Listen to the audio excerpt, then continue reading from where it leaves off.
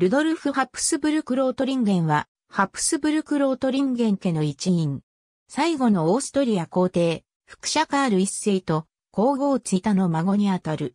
ルドルフの住居、シャトー・ド・トルニー。スイスの文化財に登録されている1950年11月17日、オーストリア旧皇族カール・ルートヴィヒと、その妻ヨランド・ドリーニュの第一子として、生を受けた。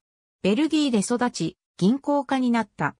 スイスフリブール州に位置するスイスの登録文化財であるシャトードトルニーに25年以上居住している。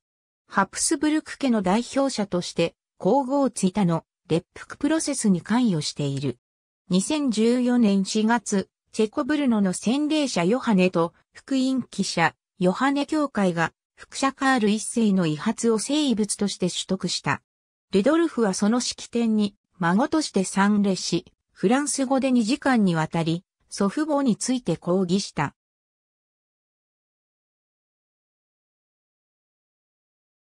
妻エレーヌとの間に8人の子女を設けた。